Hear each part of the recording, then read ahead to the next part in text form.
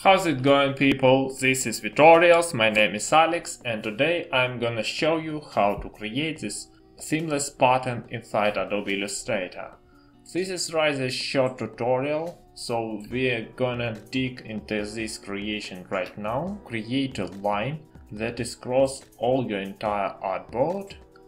Set the stroke weight uh, 11 points, go to the effect distort and transform zigzag Set the size of your zigzag segment to 30 pixels and set the reach per segment to 20.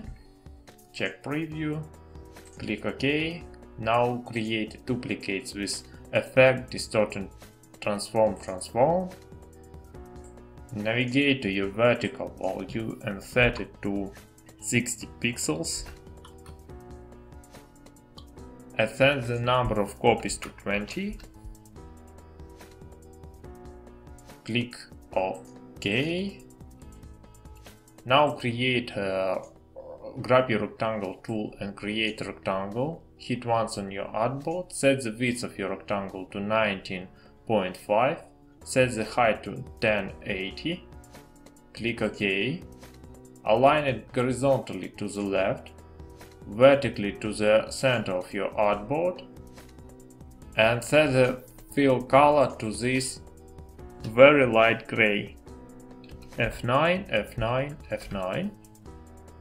Click OK.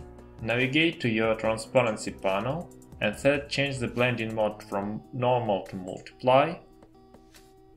To apply these changes, I also want to change the uh, stroke color to something completely different.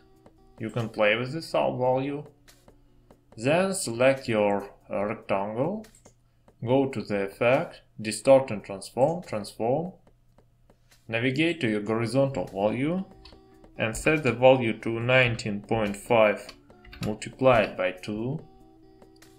Set the number of copies to 15 and click OK and this is, my friends, how you can create uh, this uh, pattern inside Adobe Illustrator. If you like the tutorial, do not hesitate to thumb up, subscribe and share it with your friends. I want to thank you for following to the end. Have a nice day.